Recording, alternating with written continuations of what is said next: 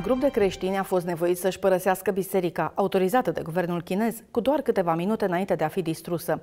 Potrivit revistei religioase Bitter Winter, guvernul comunist din China a decis din senin că biserica este ilegală. Mai bine de o mie de ofițeri de securitate au făcut o razie în biserica adevărată a lui Isus din provincia Henan.